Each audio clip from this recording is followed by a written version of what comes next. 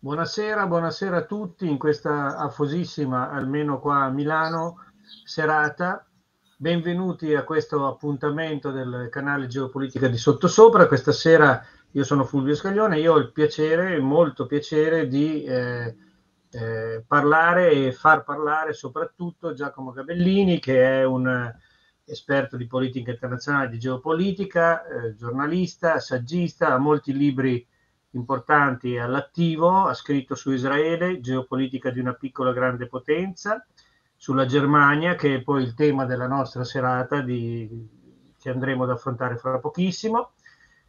eh, sulla continuità politica, economica e strategica della Germania, ha scritto sulla genesi, formazione e sgretolamento dell'ordine economico statunitense, sulla dottrina Monroe, l'egemonia statunitense, quindi come vedete uno spettro di interessi eh, molto, molto ampio e molto interessante. Quindi grazie Giacomo per essere con noi, benvenuto in eh, questo forum virtuale di Sottosopra. Grazie a voi. Come dicevo prima, eh, abbiamo scelto uno, uno, spicchio dei tuoi vasti interessi, che è quello della, della Germania, che in questo momento è un paese eh, molto interessante da seguire per tutto quanto sta avvenendo sia all'interno della Germania sia direi forse anche e soprattutto all'esterno della Germania. Ti farei come domanda d'esordio una domanda molto, eh, molto banale. Com- come la vedi la Germania di adesso, la Germania di Scholz, la Germania del dopo Merkel? Cioè, una Germania che non sembra più la Germania, come dire, eh, eh rispettata, autorevole dei, dei, lunghi anni del cancellierato Merkel. Sembra una Germania un po' più confusa, un po' più debole, un po' più smarrita. Ecco, chiedo a te però naturalmente. Eh, direi che sono d'accordo, vedo, vedo, un paese ridimensionato nelle sue ambizioni, eh, dotato di una leadership meno eh, convinta, meno anche conscia dei, dei, propri limiti e dei propri mezzi. E quindi prevedo che la Germania attraverserà un periodo di difficoltà strutturale piuttosto pronunciato. Eh, basti pensare che il paese, chiaramente il paese cardine dell'Unione Europea, del, del vecchio continente, anche preso, anche inteso non solo politicamente ma anche geograficamente, eh, ci sono stati diversi esponenti del governo ucraino che hanno parlato di Schulz come di una salsiccia, gli hanno dato della salsiccia apertamente, quindi la Germania eh, è stata ridotta diciamo al rango quasi di paria proprio per per la, le sue decisioni strategiche assunte in passato, che eh, fondamentalmente hanno un problema di fondo colossale. La Germania è un paese mercantilista, eh, dipende tra il, 6, tra il 5 e il 7% del suo PIL, dipende dalle esportazioni, è una quota notevole, notevolissima, quasi che non ha uguali nel resto del mondo e chiaramente ha delle implicazioni un commercio estero di questo tipo. Per esempio il fatto che eh, mercati di sbocco fondamentali sono la Russia e la Cina e allo stesso tempo la Russia è anche un fornitore di materie prime a prezzi relativamente ridotti che hanno consentito per l'appunto alla manifattura tedesca di, esport- di ricavarsi ampi spazi di mercato in tutto il mondo. E nel momento in cui rimani un paese presidiato militarmente da, dall'esercito statunitense, hai perso la seconda guerra mondiale. Chiaramente è un, è un, dato di fatto incontrovertibile e che continua a pesare tantissimo su questo paese. Però hai ambizioni mondiali perché eh, cerchi di eh, ritagliarti, come dicevo, spazi di manovra anche verso Oriente e se, segnatamente verso quelli che si configurano come i nemici, come gli avversari strategici degli Stati Uniti, si viene a creare una contraddizione, una contraddizione che è stata tenuta diciamo, eh, eh, è stata resa sostenibile per diversi anni da, dalle, un po' dall'equilibrismo della Merkel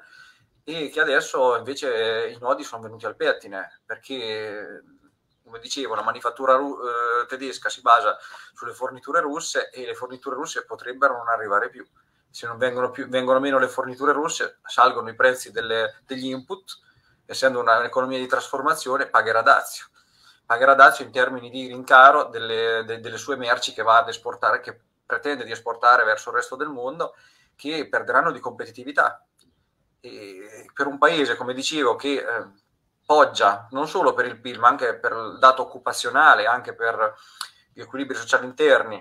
dipende parecchio, tantissimo dall'esportazione e si pronunciano periodi parecchio difficili. Per un cancelliere che è subentrato da pochissimi mesi eh, eh alla Merkel che è in da, era in sella da 15 anni, 17 anni, eh, si, si, tratta di una sfida di non poco conto che Scholz, onestamente, a mio modesto parere, non sembra particolarmente attrezzato a sostenere. Senti, io ti chiedo scusa, le mie domande saranno un po' così random, andrò dove mi porta il cuore, come diceva certo. il, il, romanzo. No? Adesso è, molto, è diventato molto di moda in questa eh, nouvelle vague di atlantismo spinto criticare la politica della Merkel, no? perché la Merkel avrebbe, insomma, per, per, anche per le ragioni che hai appena detto tu. Però io mi, mi domando una cosa. Il, il, gas russo, noi, l'Europa e quindi anche la Germania importa il gas russo dalla fine degli anni 50 e in questi 60 anni di importazione eh, di gas russo e di esportazione evidentemente dalla Russia, sostanzialmente non ci sono mai stati grossissimi problemi, tranne forse nel 2008 quando ci fu la crisi tra Russia e Ucraina, e poi ci fu un'altra crisi nel 2005, ma durò tre giorni, quindi non, insomma, chiamarla crisi mi sembra un po' tanto. Questo gas era il più economico a disposizione sul mercato, no? E quindi ha in qualche modo è stato uno dei vettori del, del, del boom economico europeo se vogliamo dirlo in un altro modo, del boom economico della Germania, che poi è stato uno dei vettori a sua volta del boom economico dell'Europa. Allora io mi domando, ma tutte queste critiche alla Merkel, secondo te, che sei uno studioso di Germania, uno specialista di Germania, hanno senso o è il senno del poi? Cioè, non è che possiamo pensare che 30 anni fa non dovevamo comprare il gas russo perché 30 anni dopo avrebbero invaso l'Ucraina, credo, no? Direi che in buona la, io sono un critico della Merkel, però focalizzo le mie critiche su altri fattori, per esempio sul, su quelle, ma non è tanto la Merkel, quella è proprio la predisposizione economica tedesca verso l'austerità, l'ordoliberismo, il fatto di ancorare la propria crescita sulla disponibilità del resto del mondo a importare le tue merci che è una cosa che può andare bene per un certo periodo, ma strutturalmente a, nel, lungo, nel, nel medio-lungo periodo diventa insostenibile. La Merkel però dall'altro punto di vista ha cercato di tutelare i propri interessi nazionali che consistevano proprio in quello che giustamente dicevi tu, cioè nel approvvigionarsi di materie prime, come dicevo prima, essendo un'economia di trasformazione che eh, dipende, quindi per, eh, essendo priva di eh, materie prime fondamentali deve importare dall'estero. Importa materie prime, le trasforma in prodotti finiti o materie prime o semilavorati, che trasforma in materie finite dal medio alto, altissimo valore aggiunto, aerei, eh, automobili, eh, famose in tutto il mondo, la, l'automobilistica tedesca, non, non, non, devo certamente dirlo io. Quindi da questo punto di vista eh, le decisioni della Merkel sono in linea con gli interessi economici del paese. Eh,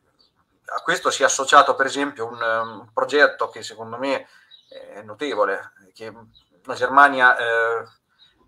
aveva portato avanti già un secolo fa, più di un secolo fa, più o meno, cioè quello di aggregare, di fungere da aggregatore per i paesi dell'Europa orientale, che, in cui ha decentrato inizialmente le produzioni dal relativamente scarso valore aggiunto,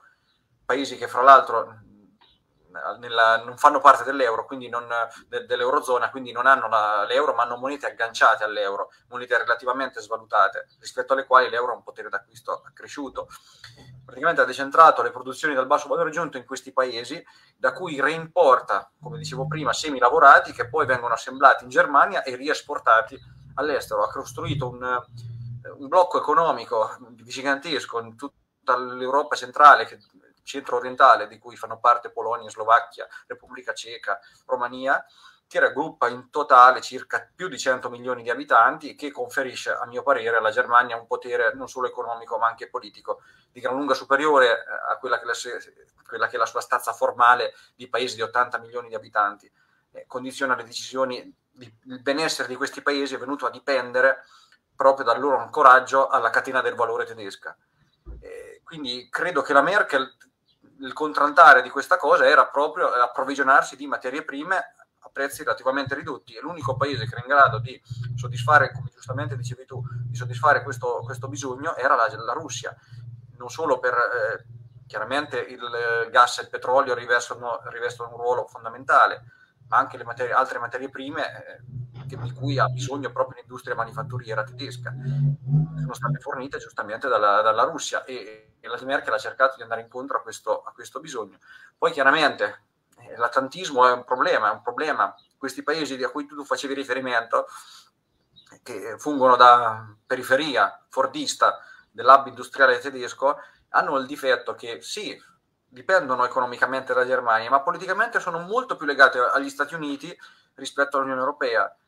Eh, quindi eh, tendono ad avere una, una percezione della sicurezza del, e anche proprio la loro collocazione geopolitica eh, molto più tendono ad avvicinarsi molto di più agli Stati Uniti rispetto a quanto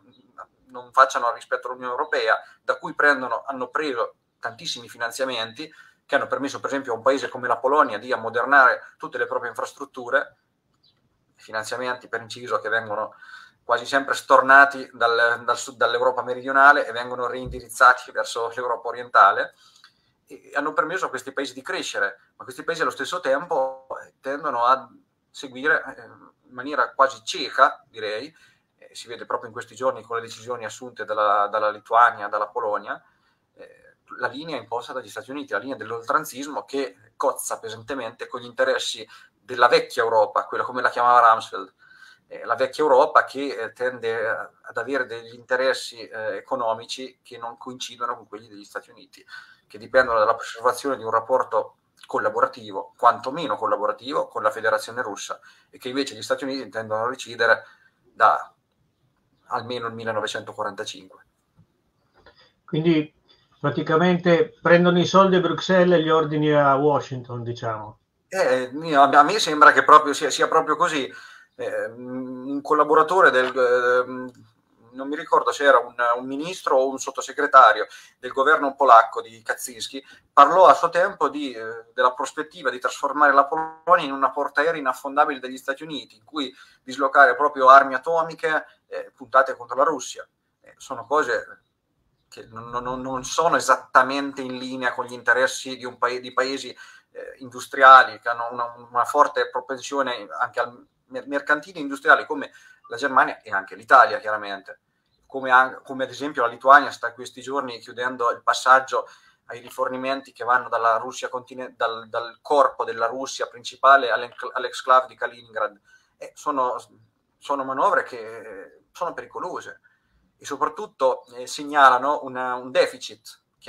strategico eh, clamoroso del, dell'Unione Europea che ha inglobato al proprio interno tutti questi paesi che poi nel corso degli anni hanno monopolizzato la sua politica estera,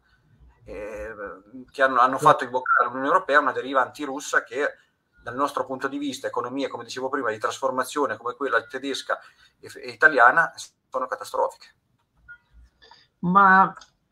secondo te considerato il diciamo Scholz salsiccia, come dice l'ambasciatore ucraino Melnik, no? un giorno sì, un giorno no, e considerato Macron azzoppato dai risultati delle elezioni politiche, l'asse tedesco-francese, che era un po' la spina dorsale del, dell'Unione Europea, è, è, andato o è un momento così di, di smandamento? Io credo, ho sempre creduto che fosse una, una simulazione, eh, una costruzione retorica l'asse franco-tedesco, perché in fin dei conti Germania e Francia sono paesi incomparabili da ogni punto di vista. La Francia è un vaso di coccio rispetto alla Germania, sì, al diritto di veto in sede delle Nazioni Unite, alla force de frappe, ma l'atto pratico ha una capacità di influenza molto contenuta rispetto alla stessa determinazione degli indirizzi europei eh, chiaramente eh, la Francia risente di eh, questo secondo me eh, è interessante notare la, il tempismo del discorso che ha fatto Putin al forum di San Pietroburgo e l'esito delle elezioni legislative in Francia, che hanno visto una stensione molto alta, molto elevata, e hanno visto il, Macron eh, subire una colossale disfatta, perché in fin dei conti ha visto i suoi avversari ottenere notevoli posizioni di vantaggio rispetto a, come allo, allo, scenario che si prefigurava solo qualche giorno prima. E, Putin nel suo discorso di San Pietroburgo ha parlato dell'Unione Europea come di uno spazio governato da burocrati che sono completamente eh, scol- c'è uno, diciamo in preda uno scollamento tra le elite, tra l'apparato dirigenziale che, che, determina proprio gli indirizzi dell'Unione Europea e le popolazioni. E questo, a ditta di Putin, nella sua analisi, eh, questo, diciamo, questa divaricazione avrebbe condotto alla, all'affermazione di partiti, di forze populiste nel senso deteriore del termine, demagogiche più che populiste direi demagogiche che avrebbero condotto l'Europa a un, uno sfaldamento e la Francia mi sembra che sia uno dei paesi il candidato principale a, a, fare questa fine, un po' per le proprie dinamiche interne. Ricordo che è un paese che ha al proprio interno decine di migliaia di eh, francesi, cittadini francesi di origini eh, magrebine, che sono formalmente francesi, ma che non si identificano come francesi. Eh, vivono nelle banlieue, eh, non, non, hanno un... Um, sono, se, una, conducono uno stile di vita sostanzialmente separato da quello del corpo della nazione e di, simmetricamente eh, la loro presenza ha favorito la, l'affermazione di partiti di, che avevano, adesso cercano diciamo, di, di, mascherarla questa cosa, ma avevano una chiara connotazione xenofoba come Front National. E, e quindi vediamo un paese polarizzato, l'immagine di un paese polarizzato che essendo polarizzato al proprio interno, perde potere contrattuale anche in seno a questo fantomatico asse franco-tedesco. La Germania rimane il paese, entrambi sono in fase declinante, ma la Francia è più declinante della Germania, secondo me. Quindi nell'ambito di questo rapporto bilaterale eh, gli equilibri tenderanno ancora di più a pendere a favore della Germania, specialmente per quanto concerne le politiche eh, economiche che si eh, dovranno adottare nei, nei, nei, mesi a venire, che torneranno verso l'austerità già preannunciata dalla, dal rialzo dei tassi di interesse da parte della, del, del fondo, del, della Banca Centrale Europea e che quindi si assisterà a un riallineamento di, di tutta la politica economica europea sulla, eh, sulle posizioni tedesche. E la Francia sarà uno dei principali perdenti di questa, secondo me, di questa partita. E la Germania, che tu hai detto no, non tanto come la Francia, ma un po' declinante lo è anche lei, quali sono al momento i suoi punti deboli? Beh, come dicevo, i punti deboli è il fatto di dipendere dall'export, il fatto di, di avere una, una, una, un'occupazione interna eh, che dipende molto dal fatto della, da, dalla capacità di export del paese quindi se gli Stati Uniti, la Cina eh, sono disposti ad, ad, acquistare in massa BMW come hanno fatto BMW, Mercedes, Audi, come hanno fatto in passato, e il paese ha una sua sostenibilità so- socio-economica. Nel momento in cui eh, questi, per, per vicissitudini eh, dovute agli eventi, prima è arrivato Trump, Trump è stato il primo a cercare di mettere, in realtà aveva cominciato già Obama, sotto Obama si erano registrati alcune avvisaglie alcuni messaggi trasversali che avevano un significato molto chiaro, però il cosiddetto Dieselgate era una, eh, per carità, eh, i fatti a quanto pare erano reali, ma credo fosse stato abbastanza strumentale come eh, l'entità del danno provocato alla Volkswagen in termini sia di sanzioni sia di, mh, immagine, le multe rifilate a Deutsche Bank, il fatto che le, le agenzie di rating statunitense prendevano di mira le banche tedesche, poi sotto Trump l'uso, l'uso, dei, l'uso intensivo dei dazi, che eh, molti l'hanno hanno preso giustamente, per carità, eh, hanno identificato come destinatario di queste misure la Cina, ma anche la Germania è stata colpita pesantemente. Trump ha inflitto dazi e ha ri, ri, ridisegnato la struttura del NAFTA, l'accordo di libero scambio del Nord, eh, del, Nord, eh, del Nord America, in maniera tale da ostacolare l'export tedesco. Quindi c'è stata una crescente insofferenza da parte degli Stati Uniti nei confronti di queste politiche mercantilistiche tedesche. E la Germania, dal, dal, suo punto di vista, ha tenuto il punto, ha cercato sempre comunque di conservare la propria. Mi ricordo che la Merkel parlò del fatto della necessità da parte dell'Europa di prendere in mano il proprio destino e quindi divorziare eh, idealmente dagli Stati Uniti. Era proprio nasceva in quel, era un, un'affermazione che è maturata in quel clima creato proprio da Trump ma attualmente con lo scoppio della crisi, della degenerazione della crisi ucraina, con l'attacco russo all'Ucraina, si è venuta proprio a, si è venuta a creare una disintegrazione totale delle catene del, de, di approvvigionamento che già erano provate eh, da, seriamente messe in crisi da, dai due anni di pandemia che hanno fatto in modo che cioè, hanno messo in crisi la capacità dell'industria tedesca di, di, ottenere, di approvvigionarsi delle risorse fondamentali di cui ha bisogno. E quindi per la Germania la vedo veramente dura. Paese propenso all'export, in, che si trova di fronte a uno scenario in cui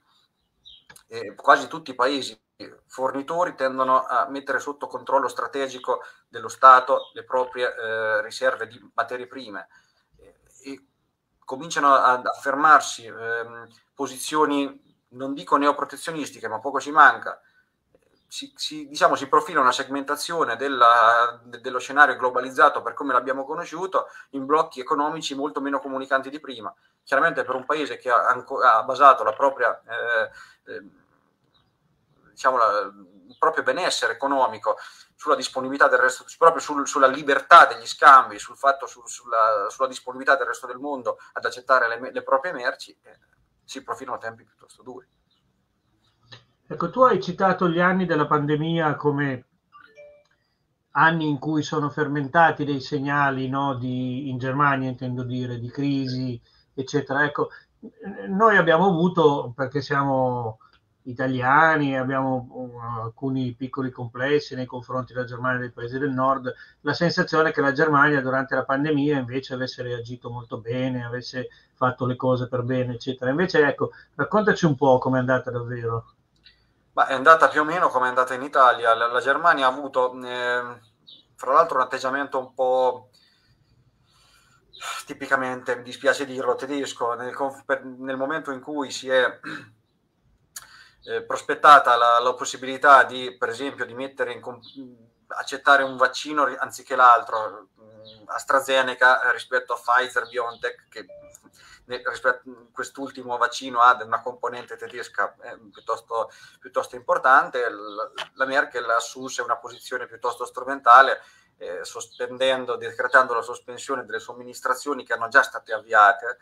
dei, dei vaccini eh, proprio per favorire il suo, fra virgolette, vaccino, il vaccino che aveva una componente tedesca al proprio interno, ma quello vabbè, sono battaglie di bottega. Nell'ambito proprio della gestione, eh, la gestione è stata un po' all'italiana, hanno lockdown generalizzati che hanno avuto gli, eff- gli, stessi effetti che hanno avuto in Italia. Poi giustamente, come dicevi tu, eh, eh noi italiani abbiamo la, un po' il complesso di inferiorità, un po' l'esterofobia proprio, specialmente i partiti che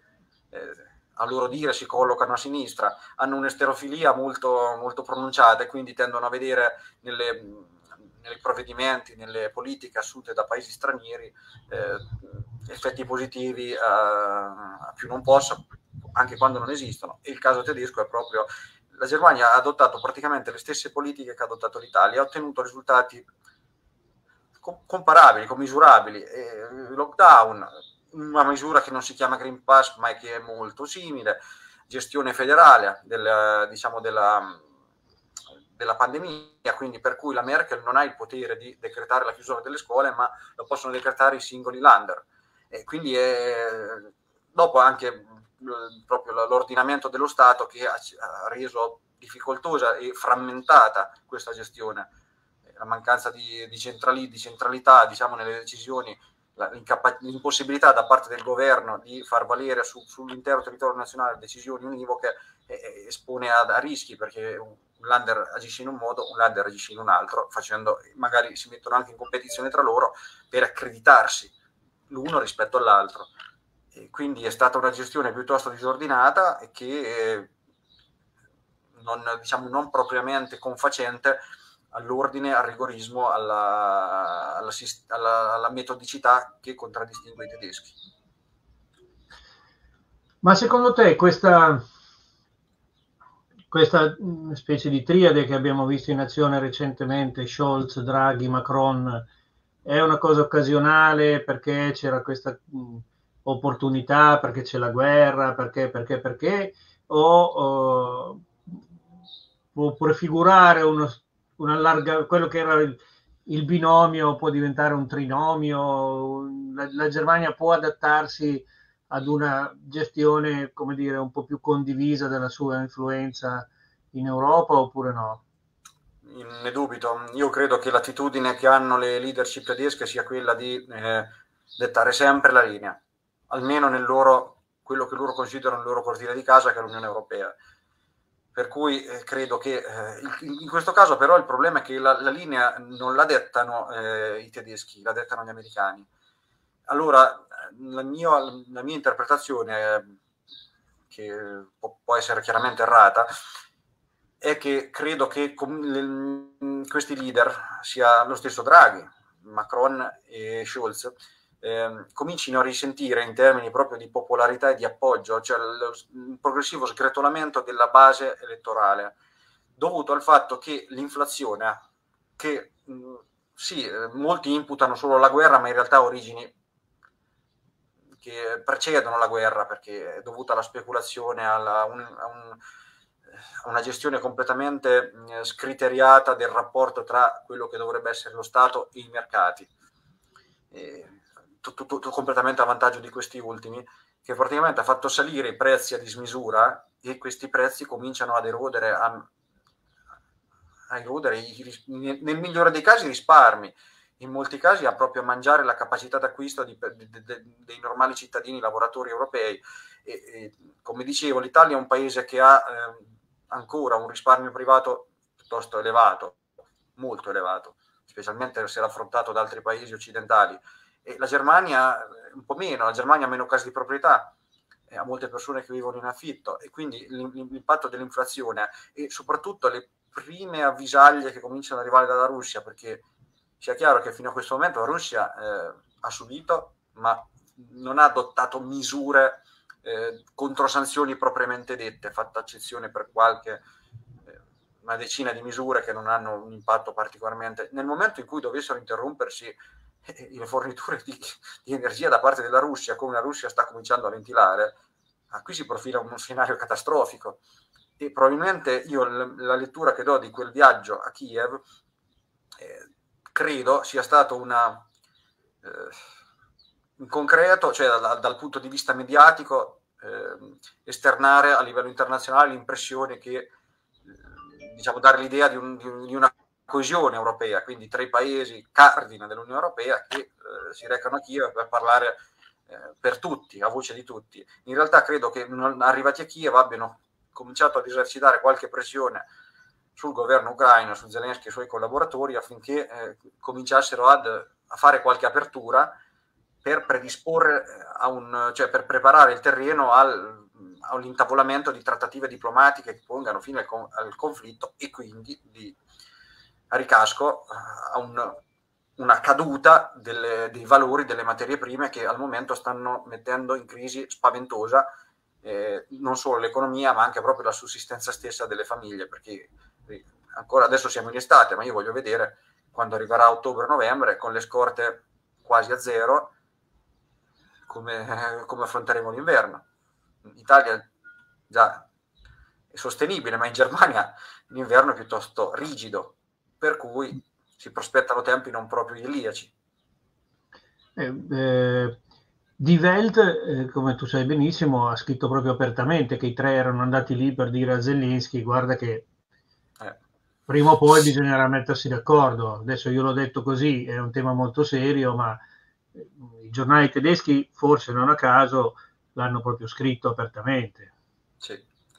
Beh, ehm, è, è, chiaro perché nel momento in cui cominciano a avvertirsi sulla vita quotidiana di milioni di persone gli effetti di questa situazione,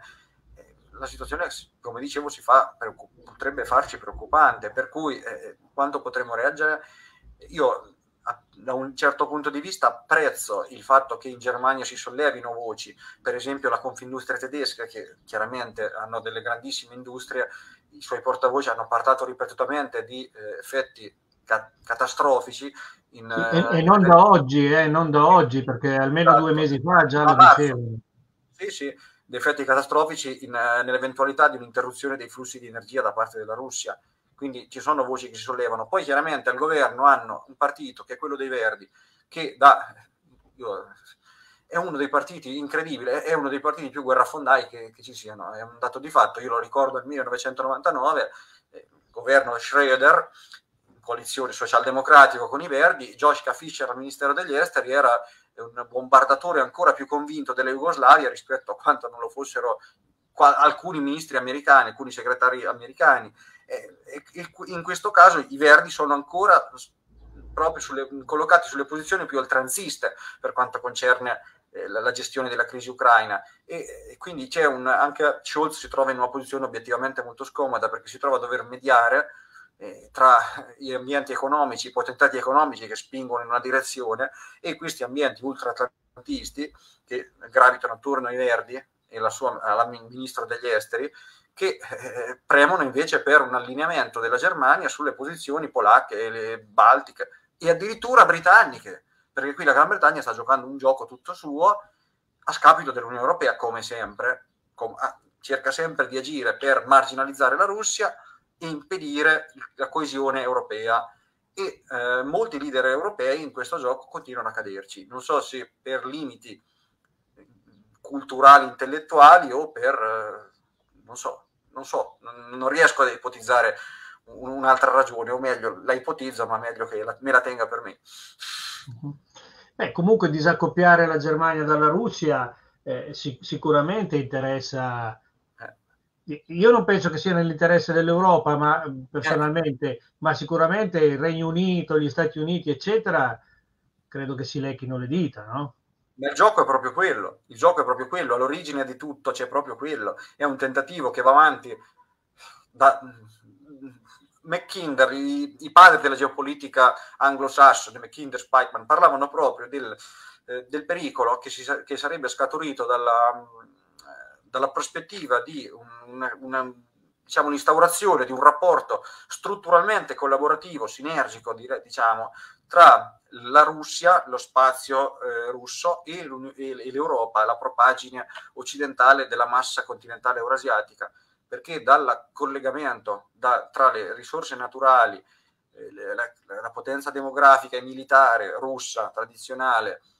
e le tecnologie dell'Europa occidentale sarebbe scaturito un blocco economico in grado di relegare gli Stati Uniti a una,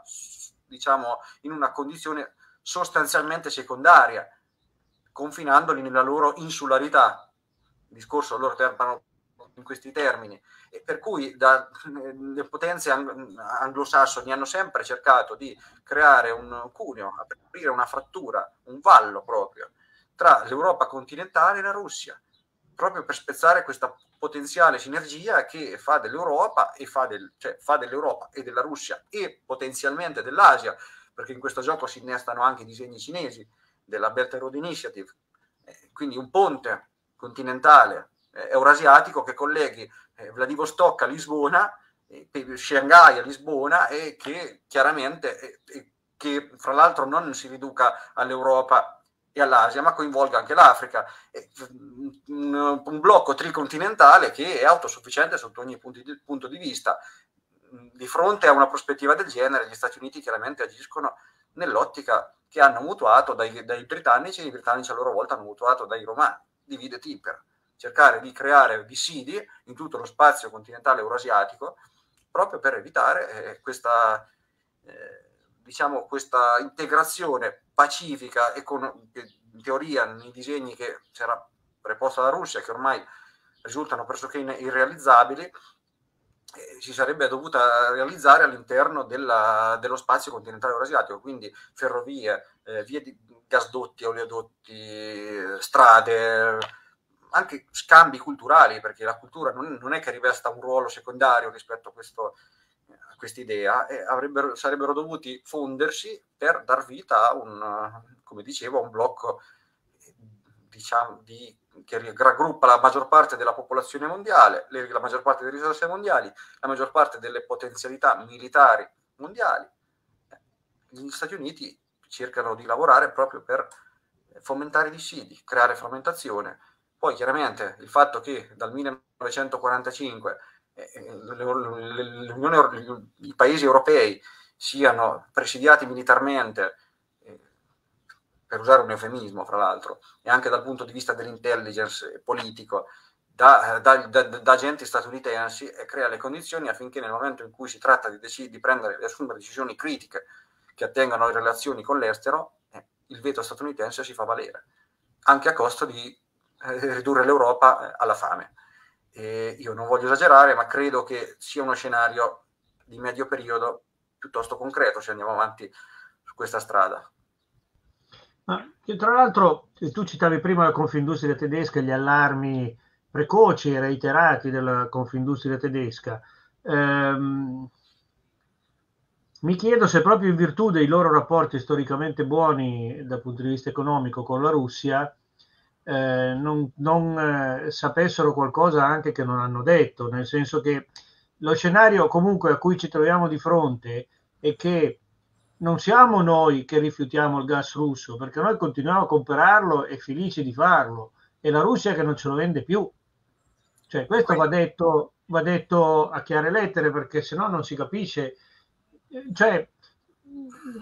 mi domando se quelli della Confindustria tedesca non avessero visto avanti, non avessero capito che i politici, diciamo gli industriali, non avessero capito che i politici stavano sbagliando qualche conto. Non so che opinione ti sei fatto tu. Io credo di sì. Io credo che in, questo è un po' un discorso che ho sempre pensato, cioè il, il fatto che comunque questi industriali vivono nel mondo concreto, reale, hanno una rispondenza diretta tra quelle che sono le loro necessità e eh, le finalità ultime. Eh, quindi eh, sanno benissimo che eh, ogni dichiarazione, ogni presa di posizione ha un potenziale impatto. Nel momento in cui cominciano a vedere l'allineamento della Germania, eh, eh, alle, diciamo, come dicevo prima, sulle posizioni quasi, quasi, tra mille forse e mille contro, perché in realtà sì, la Germania vocalmente verbalmente si esprime eh, per l'Ucraina, eccetera, però ha posto il veto, e questo probabilmente ai russi non è sfuggito, ha posto per esempio il veto sulla fornitura di eh, carri, carri, Leopard da parte della, della Spagna all'Ucraina.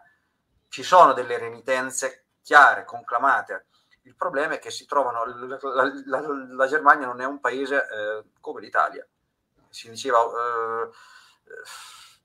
a sovranità limitata, molto più che limitata, paese sono paesi commissariati. Nel momento in cui si tratta di prendere, come dicevo prima, decisioni strategiche, non hanno il minimo margine d'azione, quindi più o meno devono farlo, devono, devono muoversi a seconda di quelli che sono i diktat statunitensi, a mio parere. Dopo ci sono dei potentati, perché chiaramente la, la Confindustria, Confindustria tedesca è un potentato che trascende di gran lunga i confini tedeschi, prende posizione e magari riesce a strappare qualche piccola qualche diciamo, ammorbidi, ammorbidimento da parte della, della leadership politica, ma all'atto pratico diciamo, l'indirizzo ormai è segnato. E a me, io credo che la leadership, cioè la Confindustria tedesca, eh, legga con orrore le, le, le, esternazioni, per esempio, di Medvedev. Medvedev era stato considerato per anni certo. l'ala filo occidentale, cioè il, il volto rispettabile del putinismo, mettiamola proprio nei termini che piace usare ai, ai nostri esperti televisivi, pseudo esperti televisivi. Medvedev era eh, diciamo, il, personaggio, l'esponente del, dell'apparato dirigenziale russo apparentemente più incline, più propenso all'apertura nei confronti dell'Occidente. Da qualche settimana a questa parte sta eh, assumendo delle posizioni che lasciano interdetti. Ha parlato di Macron come mangiaranocchie, di Draghi come spaghettaro, di, di, di Scholz come mangiaviustel, ha parlato che gli, a, suo, a, suo, parere gli occidentali andrebbero quasi eliminati, ha detto delle cose che segnalano, non, non è tanto il contenuto, che sono discorsi che lasciano il tempo che certo. trovano, ma e, e segnalano una, manca, una, una mancanza di volontà di ricucire i rapporti. La Russia ha voltato pagina e quando prende una decisione la Russia è irremovibile. La storia dice questo. È andata contro i suoi indirizzi, poli- orientamenti politici, economici, culturali che la, l'hanno caratterizzata da almeno 400 anni, che ha sempre guardato verso l'Europa, ha sempre avuto degli, delle elite, ha un'anima euroasiatica, ma ha sempre avuto delle elite che guardavano verso l'Europa. In questo momento sta facendo una torsione, sta attuando una torsione da 180 gradi che la indirizza verso l'Asia queste, questo tipo di esternazioni sono sintomatiche a mio parere. Significano che eh, sì, adesso noi andiamo avanti finché c'è la possibilità di andare avanti, poi una volta ottimato gli accordi economici, perché anche, non è solo la Cina, anche l'India sta importando quantità di petrolio, di gas, di materie prime, di carbone, di materie prime russe a ritmi incredibili. E quindi è proprio un, un, una volta ultimato, definito formalizzato questo, questo rapporto, questa, questa alterazione, questo cambiamento sostanziale di approccio strategico verso il resto del mondo, la Russia potrebbe benissimo decretare la chiusura dei rubinetti. E a quel punto io non so come potrebbe, cioè, lo so, me lo immagino, non sono solo io a averlo fatto, come potrebbe reagire un'economia di trasformazione come quella europea, tedesca in primis, italiana in secondo luogo. Certo, ma per, scusami se, se provo a, ad aggiungere qualche elemento al tuo discorso. Tra l'altro, mentre tu parlavi, è arrivata una domanda proprio sulla posizione della Germania nel conflitto ucraino, ma credo che tu abbia, eh, c'è stata una perfetta coincidenza, credo che tu abbia risposto, no? Cioè, eh, tu hai detto che la Germania eh, eh, vorrebbe andare da una parte, ma è costretta in qualche modo dalle convenienze politiche, eccetera, ad andare dall'altra. Sì. Eh, io vorrei aggiungere qualche elemento alla, alla questione Russia-Europa, perché secondo me è molto interessante. Eh, ed è questa, tu dicevi un paese eurasiatico dove però il 60 e oltre per cento della popolazione vive nella cosiddetta Russia europea, no? Sì. Quindi è, è, ancora più significativa quella che tu chiami torsione, no? cioè il fatto che è un paese sostanzialmente eh, dal punto di vista della popolazione europeo, e che però ha, de- ha, deciso, perché secondo me l'hanno deciso più loro di noi, di sì. mandarci a quel paese, perché la guerra in Ucraina, secondo me, al di là delle questioni specifiche, il Donbass, eccetera, è, per dirla con Beppe Grillo dei bei tempi, un gigantesco vaffa eh, inviato verso Occidente. E vorrei, vorrei, aggiungere una cosa, tu dicevi dell'India, ma proprio oggi sono usciti i dati, la Russia è diventato il primo esportatore di petrolio in Cina, che a sua volta è il primo consumatore di petrolio del mondo. E se non erro, correggimi perché qui vengo proprio nel tuo, quindi posso, posso sicuramente sbagliare, la Germania, che era il primo fornitore di tecnologie alla Russia, adesso è diventato il secondo dopo la Cina, cioè c'è un, un processo di, di, appunto, è come la Russia è come una portaerei, per girare ci mette una vita, ma sta girando e non è da oggi. Non so se tu concordi. Que- sì, sì. Questo come che... europeo lo dico, ecco, insomma. Mi, no, no, ma eh, io credo che la Russia abbia il discorso di Putin a San, a San, a San Pietroburgo è emblematico. La Russia, eh, la, la mossa di scendere sul, sul, sul, sentiero di guerra in Ucraina rientra in un, in, un, disegno molto più ampio. Io dal primo momento l'ho sostenuto, la Russia si è, eh, ha, ha, ritenuto che la misura fosse colma. Dal suo punto di vista ha tollerato eh, una, una, serie infinita di sgarbi, di mancanza di rispetto. Ognuno valuterà a seconda proprie, eh, della propria sensibilità ma non credo che, molte di, credo che molte di queste cose fossero fondate, dall'espansione della Nato al fatto di appoggiare la costruzione di linee di gasdotti e oleodotti che non transitassero, tipo il Bakut Tbilisi Seian, per esempio, che fatti costruiti apposta per saltare il territorio russo e attingere e collegare l'Unione, Europea a fonti che non fossero russe. Lo prende l'Unione Europea ha un senso, gli americani lo patrocinano è un altro. E la strumentalizzazione, per esempio il fatto di usare eh, una, un corpo di terroristi fondamentalmente in funzione antisiriana per colpire quello che è il principale alleato della Russia sul Mediterraneo. È una serie infinita, ma si potrebbe tornare prima alla guerra della Jugoslavia. Io credo che la Russia intravedesse proprio quello spettro, la frammentazione, la balcanizzazione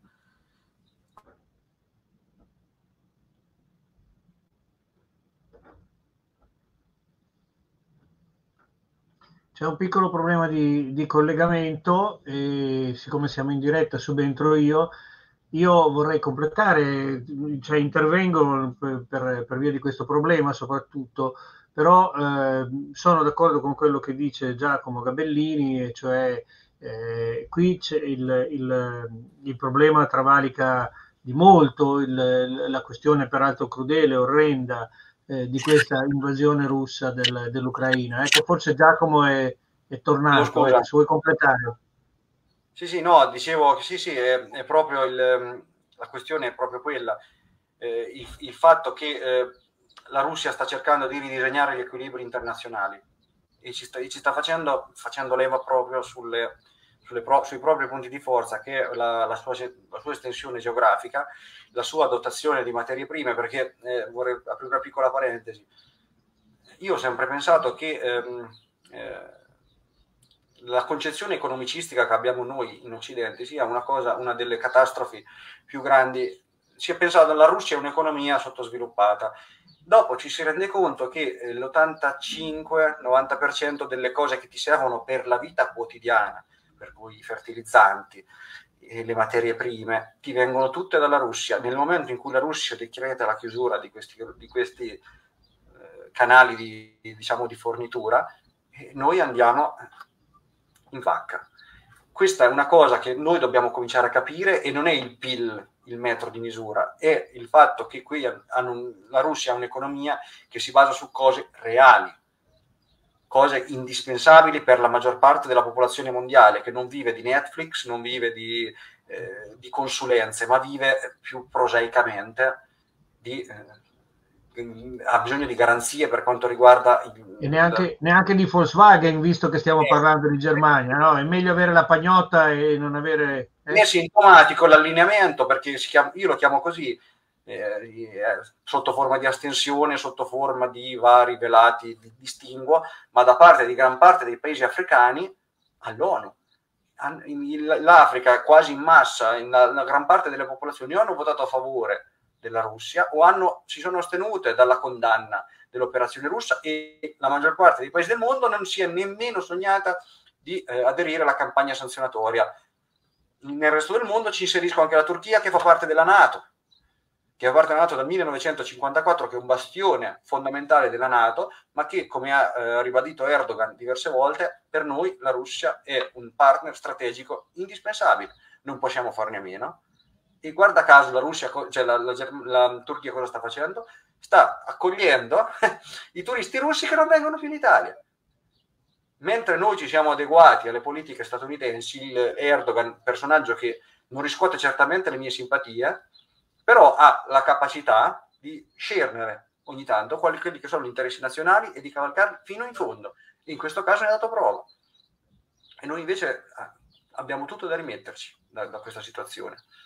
Per cui credo che la Russia stia proprio facendo leva su questi paesi che non sono, diciamo, sul sud del mondo, per usare una retorica un po', un po desueta. Sta cercando di,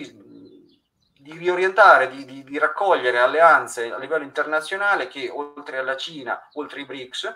ricomprendano molti paesi del sud del mondo che sembrano particolarmente ricettivi a quelli che sono i messaggi del Cremlino. E sono paesi che hanno le materie prime sono paesi che hanno un, una demografia prorompente nella maggior parte dei casi. Eh, siamo decadenti, siamo decadenti e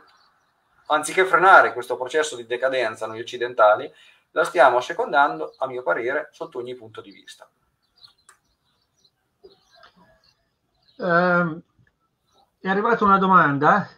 Il riarmo tedesco, che cosa ne pensi? strutturale, spinto dalla contingenza della guerra? Qual è il suo significato profondo? Eh, è una questione eh, piuttosto, piuttosto delicata. Mi piace ricordare che nessuno se ne ricorda, ma nel 1990, all'atto della riunificazione tedesca, la riunificazione tedesca fu resa possibile, come è noto, da un accordo verbale, non messo per iscritto, ma confermato da fonti tedesche, francesi, britanniche, eccetera, tra James Baker, George Bush, Gorbachev, Shevardnadze fondamentalmente, in base al quale la, eh, l'Unione Sovietica autorizzava l'unificazione tedesca e la contestuale entrata del paese riunificato nella Nato, a patto che la Nato non si, non si sarebbe espansa di un'unghia al di là dello, del, diciamo, del confine orientale della Germania, ma di più. L'accordo prevedeva anche che eh, le, le, i contingenti militari occidentali non sarebbero entrati nell'ex DDR, quindi l'ex Germania Est. Un accordo che a quanto pare era stato accettato da tutti e dato per scontato. E molti non si sono resi conto di, di, dell'enormità di questa concessione da parte di un paese come l'Unione Sovietica. L'Unione Sovietica, eh, Russia zarista prima, nella prima guerra mondiale, Unione Sovietica nella seconda, ha avuto 30-35 milioni di morti proprio per combattere le invasioni tedesche. È qualcosa, di, è qualcosa di, di, veramente enorme autorizzare la riunificazione di un paese che a livello storico aveva avuto quel tipo di, eh, di rilevanza, proprio anche a livello, a livello, psicologico. Basti pensare, per esempio, che ogni volta che si parla di esercito comunitario, i francesi, ancora terrorizzati dalle campagne dell'Ottocento di Bismarck, eh, mettono rigorosamente il veto, perché comunque devono tenere sotto freno, sotto controllo la, la potenza militare tedesca. E, in, questo, in, questo, contesto, la richiesta di adesione alla Nato di, di, di Finlandia e Svezia e la, eh, il piano di riarmo tedesco da 100 miliardi di euro, così deciso in, un secondo, al quale ha fatto poi, come al solito, eh, a rimorchio è venuto il, l'approvazione da parte del Parlamento italiano dell'allineamento dei, dei, dei, livelli di spesa ai canoni della Nato, quindi 2% del PIL, quota che non era mai stata raggiunta finora, ma sull'onda degli eventi in Ucraina è stata decretata, eh, configura uno scenario piuttosto particolare, conflittuale, perché una, un riarmo da 100 miliardi di euro nell'arco così deciso di punto in bianco eh, da parte di un paese come la Russia può avere delle implicazioni di non poco conto, anche perché colloca la Germania, uno dei paesi con la spesa militare in rapporto al PIL, piuttosto in alto, 100 miliardi in più, diciamo in un sol colpo. E quindi a questa manovra corrisponderanno delle contromanovre da parte dei russi, per forza di, di cose, che comporteranno probabilmente lo schieramento di una serie di strutture missilistiche orientate non solo sul Baltico, ma anche contro la Germania, comporterà eh, cioè l'esasperazione dei toni in termini diplomatici e aumenterà, incrementerà per forza di cose il clima di sospetto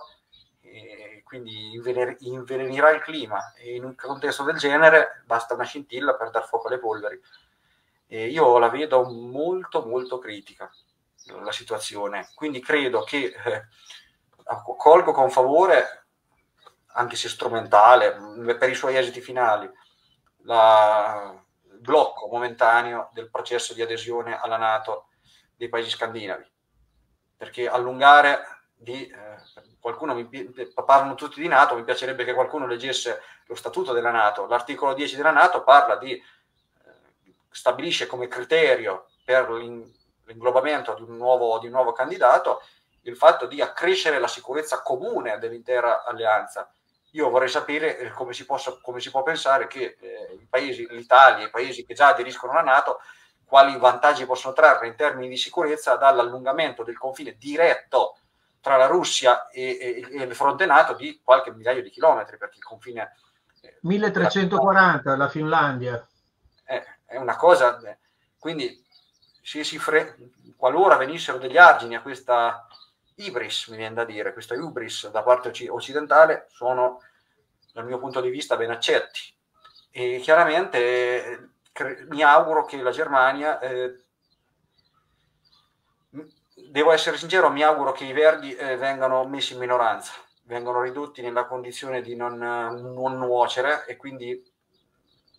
ricondotti nel, a una ragionevolezza, perché in questo momento stanno, mi sembra, mi sembra di vedere che in Europa stiano prendendo piede le posizioni più oltrazziste e meno inclini alla soluzione diplomatica. E nel momento in cui prendono prova ne le dichiarazioni allucinanti, a mio parere,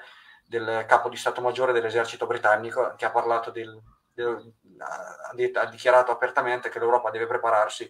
a, a, combattere una nuova guerra sul proprio territorio per arginare la, l'aggressività russa. Se cominciano a prendere piede queste posizioni, pericoloso.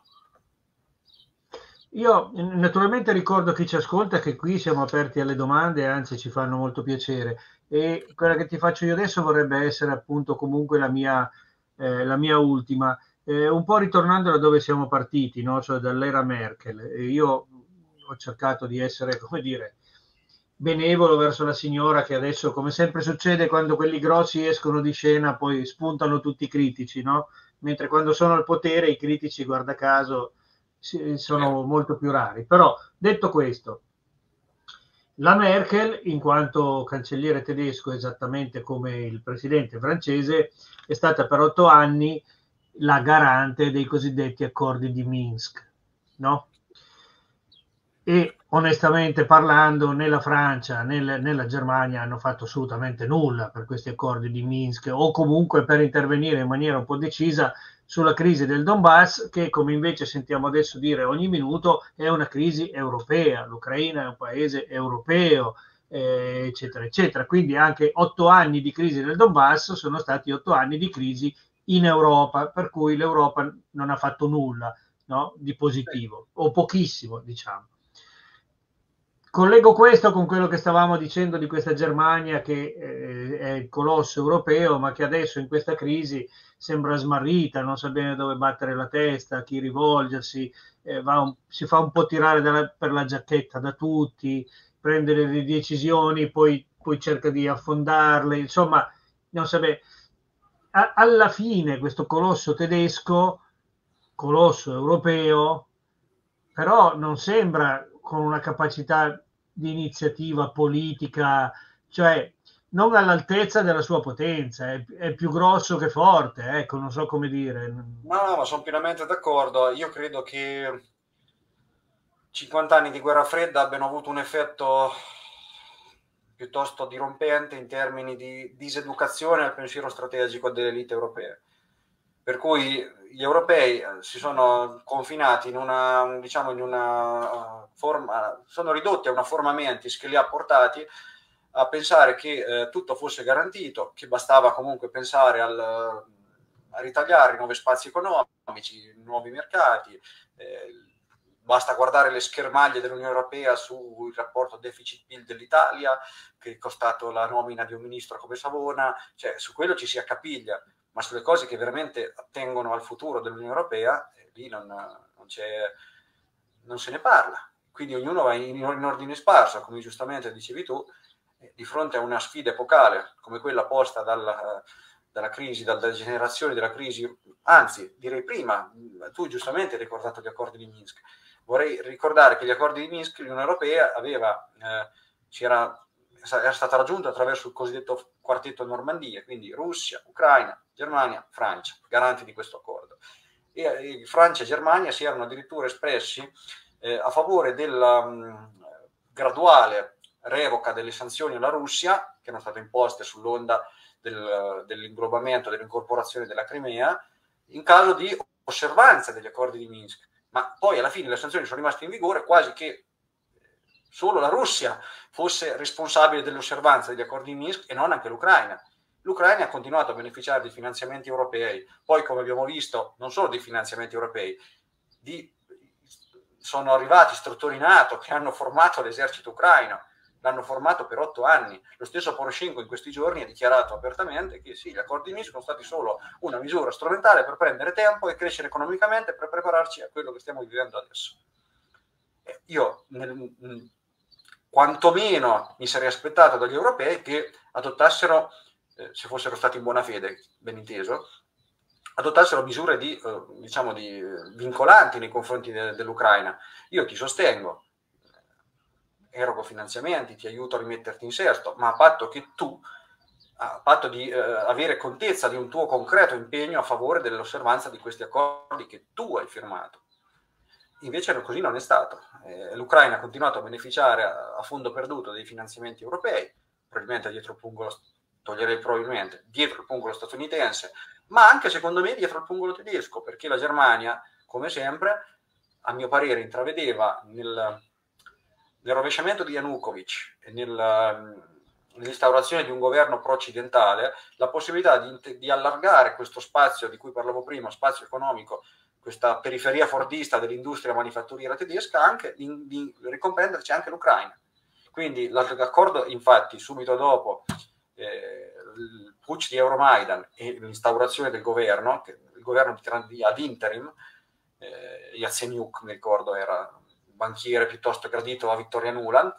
eh, la, prima, la prima mossa dell'Unione, dell'Unione, dell'Unione, Europea fu quella di sbloccare l'accordo di associazione con l'Ucraina, che facilitava per esempio gli investimenti occidentali in Ucraina, la rimozione di alcune barriere doganali, facilitando gli investimenti, si ammodernavano nell'ottica tedesca come al solito, si ammodernavano le fabbriche, gli impianti industriali eh, ucraini, gli si adeguava alle necessità dell'apparato del, dell'hub industriale tedesco e quindi la Germania otteneva un'ulteriore area geoeconomica per sé. Il problema è che questo gioco, come dicevo prima, gli si è ritorto contro, un po' perché lede gli interessi tedi- eh, russi e dalla Russia la Germania ci compra energia, un po' per creare degli interessi statunitensi, perché gli interessi statunitensi sì, tu integri l'Ucraina, ma non devi più comprare eh, idrocarburi russi. Quindi la Germania si è ritrovata in questa contraddizione fondamentale, strategica, e i giochi, finché i nodi non sono venuti al pettine. E adesso che sono venuti al pettine, non sa più come uscire da questo ginepraio. Io credo che con questa tua frase possiamo anche chiudere questa nostra conversazione. È un'ora, ti ringrazio tantissimo del tuo tempo, della tua disponibilità e delle conoscenze che hai messo a disposizione di noi tutti. Vorrei ricordare chi è arrivato fin qui, che, eh, o anche chi non ci è arrivato, anzi soprattutto a quelli, che eh, domani questa, questa, questo nostro incontro con Giacomo Gabellini, esperto di politica internazionale, geopolitica e autore, siccome abbiamo parlato di Germania,